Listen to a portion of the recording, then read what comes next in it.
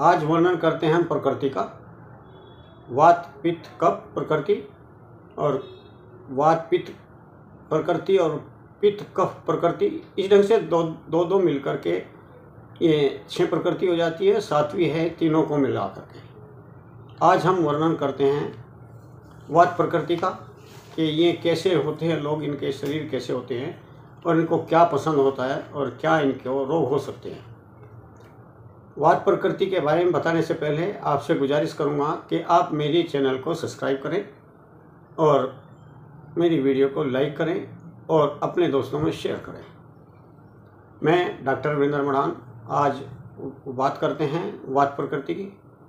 वाद प्रकृति वाले लोग इनके बाल रूखे और केड़े होते हैं। इनकी आवाज़ कर्कश होती है और भारी आवाज़ होती है। और ये बोलने में बहुत ज़्यादा बोलते हैं। इनकी पसंद जो है, ठंड, ठंडी पसंद नहीं है इनको। ये गर्म खाते हैं, गर्म स्थान में ही रहना अच्छा लगता है। खट्टा और मीठा खाना इनको पसंद होता है और इनका स्वभाव रुक्ष, कड़वा और चंचल होते हैं। ये कड़वा बोल देते हैं। इनकी बुद्धि स्थिर नहीं रहती। कभी किसी तरीके से बात करते हैं, कभी कभी अपने प्रोग्राम बनाने में इनको कुछ टाइम लगता है, क्योंकि स्थिर बुद्धि नहीं होती इनकी। नाड़ी।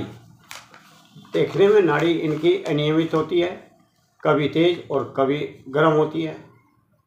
स्वाद इनका फिक्का होता है। मुँह में फिक्का फिक्का सा स्वाद रहता है। जीभ इनकी मैली और सूखी और फटी फटी सी होती है।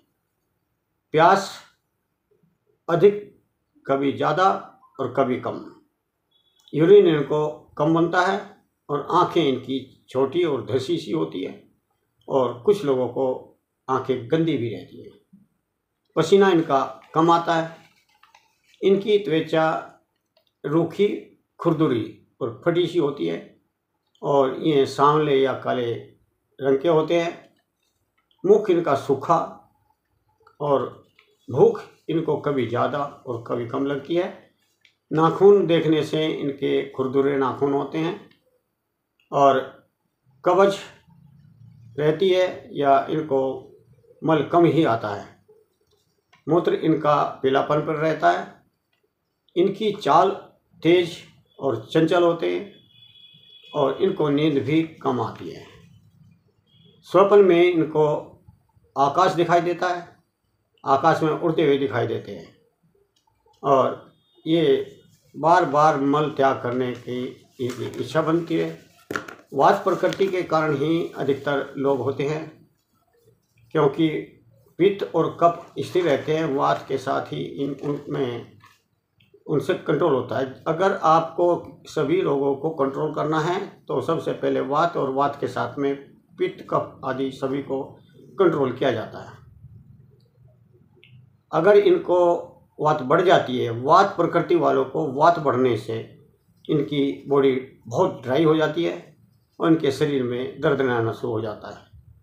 ये भूलना शुरू कर देते हैं, इनको बात याद नहीं रहती और स्ट्रेस बहुत ही जल्दी और बहुत ज़्यादा होता है। इनके जोड़ों में दर्द बन जाता है और जोड़ों के दर्द पैरालिसिस टाइप के, ये ऐसे रोग इनको होते हैं। इन, इनसे बचने के लिए आप सवेरे पानी पिए और कुल्ले में कभी कभी नारियल का तेल मुँह में लेकर के दस मिनट रोकें और मुँह की में घुमाएँ, यानी कि इसको मसाज करें, तेल को अंदर से मुँह में घुमाएँ और फिर कुछ देर के बाद उसको थूक दें। शरीर को ज़रूर रगड़ें। अगर आप तेल मालिश कर सकते हैं तो बहुत अच्छा नहीं तो रूखी सूखी मालिश भी इनको लाभदायक होती है।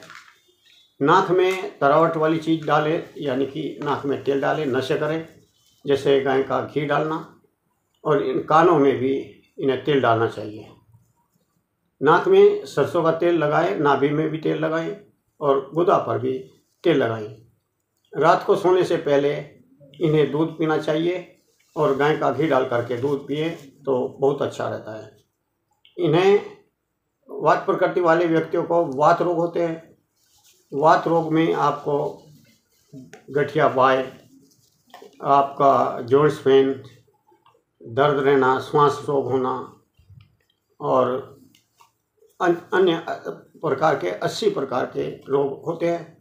तो इनसे बचने के लिए इनको हल्की सी गर्माहट में रहना चाहिए और ठंड से बचना चाहिए, ठंडी चीज़ों से बचना चाहिए। कोल्ड ड्रिंक वगैरह ना लें। बासी भोजन ना करें। अगर बासी भोजन लेते हैं तो ये वात प्रकृति वालों की वात जो है ना, बहुत विकृत रूप से हो जाती है। इन्हें ड्राई फ्रूट खाना चाहिए और पत्तेदार सब्ज़ी अगर ये लेते हैं तो इनके शरीर में वायु और बढ़ सकती है, क्योंकि पत्तेदार सब्ज़ी वायुवर्धक होती है। ठंडे चावल ना खाएँ।